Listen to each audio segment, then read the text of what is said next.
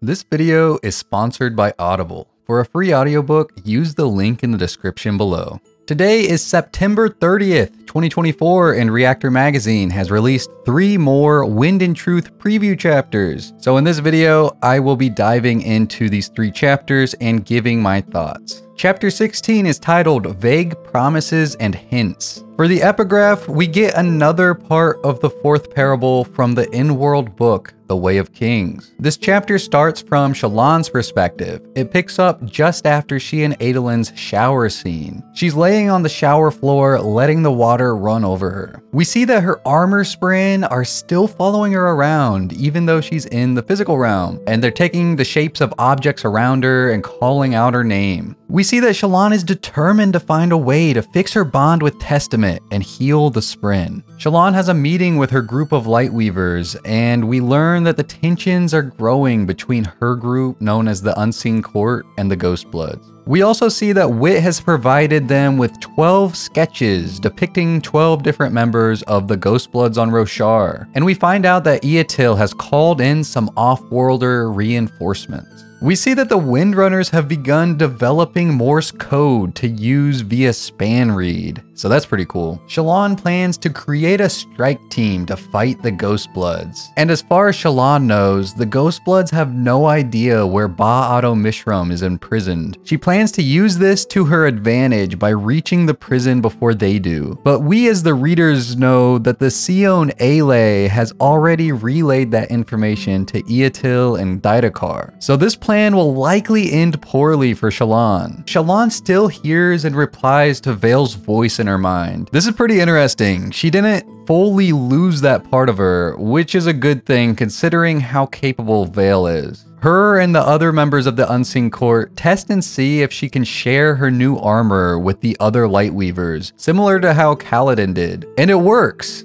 kind of. It locks in place as soon as Shallan stops touching the other person it formed around. So it seems that either her armor spren need more practice, or that Lightweaver armor simply functions differently than Windrunner armor. But locking another person in place with armor could potentially be pretty useful in a fight. So I'd bet that we'll see it used against an enemy later in this book. Shallan plans to use her Lightweavers to steal information about Mraize and the Ghostbloods, but first, she needs to find the Ghostblood's new base. Then we get Dalinar's perspective. It picks up just as he's stepping away to speak with Storming Cultivation herself. He asks her to give him the answers of how to defeat Odium, but she tells him that he has to find those answers on his own to respect their meaning. And then we get another absolute bombshell dropped on us. Cultivation tells Dalinar that the Shard of Honor wasn't actually splintered. It turns out that the power of the Shard of Honor is actually the power and substance of the visions Dalinar was shown, and it's actively searching for a new vessel to hold it. She tells Dalinar that he needs to see better, farther, and deeper into the past, and to go into the spiritual realm where gods dwell. There he will receive the final truths of the heralds, the radiance, and honor himself.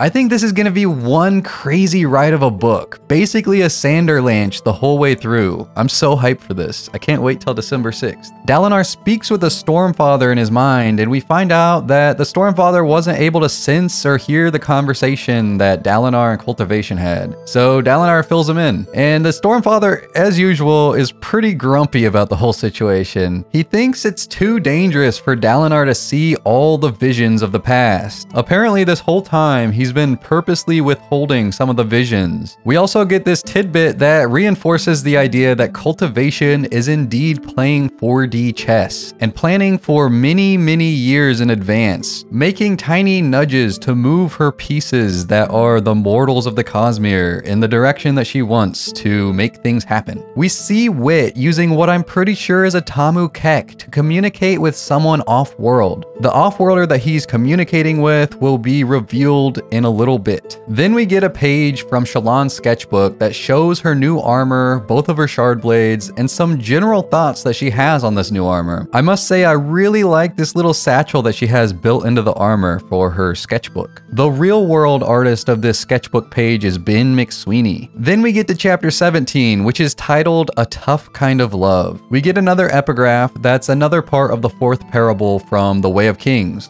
This chapter starts from Adolin's perspective. He's heading to the meeting of monarchs. He has a conversation with Yanagawn about the fused invasion forces while they're going up the lift. We also get a little bit of insight showing how hurt Adolin feels about having to abandon Kholinar. Then we get Shallan's perspective. She's wearing a disguise and her and a few of her Lightweavers are keeping an eye on Adolin to ensure he stays safe from the Ghostbloods. She gave orders to some of her Lightweavers to attempt to tail one of the Ghostbloods back to their hideout. And we get to see a new type of Spren known as Disgust Spren. They look like orange corkscrews drilling downward. Her and Gaz guys have a conversation about his gambling problem and how he quit cold turkey, and then they get a message from Shab indicating a ghost blood has been spotted. So they head to see what he's found. Chapter 18 is titled An Exception to the Rules, and we get another epigraph that's a part of the fourth parable from The Way of Kings. This chapter starts from Adolin's perspective. He and Yanagawn have just made it to the meeting of monarchs. Adolin considers greeting Dalinar, but then decides to instead do the proper thing and ignore the problem and let it fester.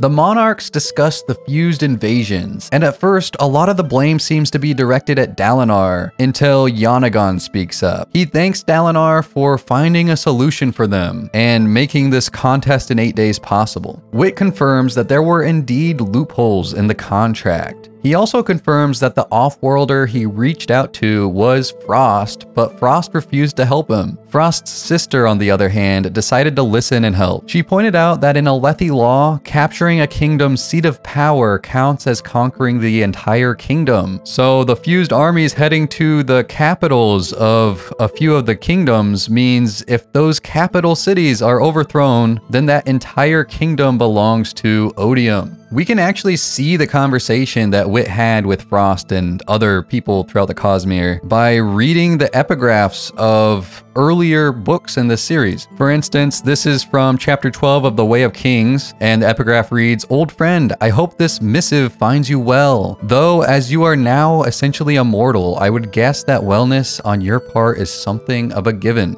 These epigraphs make up a few different letters. You can easily read through them by searching them up on the Coppermind, uh, and they're all listed out in order. Wit was also able to confirm that the Shard of Odium has a new vessel by sensing the rhythms of Roshar. He doesn't know who this new vessel is, but he knows that they are a genius who has devised a ploy to conquer all of Roshar in 10 days time. The diagram 2.0 sounds pretty scary. Then we get Shallan's perspective. She and Gaz are speaking with Shab. He spotted one of the Ghostbloods depicted in Wit's sketches, spying on Dalinar and Cultivation's conversation. This Ghostblood's agent is a former actor and was recruited recently. I'm not sure who this could be. Uh, if you have any ideas, let me know in the comments. Darcia notifies them via Spanreed Morse code that she found the Ghostblood's new hideout. It's in Narak. Shallan plans to sneak into this hideout and gather information before sending a strike team in. These were some fun chapters and they gave us a lot of new information. Let me know your thoughts on these three chapters in the comments below. I'll be making these videos every Monday from now until Wind and Truth officially releases on December 6th, so make sure you hit the subscribe button. Also, Wind and Truth is already available for pre-order, and you can get it or any other book of your choice as an audiobook right now for free thanks to the sponsor of this video, Audible. All you have to do is click the link in the description and sign up for a free Premium Plus membership, and Audible will give you a credit. You can use this credit to get any audiobook of your choice for free, whether that's pre-ordering Wind and Truth, getting a different Cosmere book, or a book completely unrelated to the Cosmere. Every month that you're still a member, Audible will give you another credit so you can keep getting more audiobooks. These audiobooks are yours to keep, even if you decide to cancel your membership. I love Audible. It's one of my favorite apps that I have on my phone. I use it every every day. My favorite part about Audible is that it allows you to multitask, so you can listen to your favorite books while you're driving or cooking or doing laundry. Use the link in the description below and get your free audiobook. That's it for this video guys, I'll see you in the next one.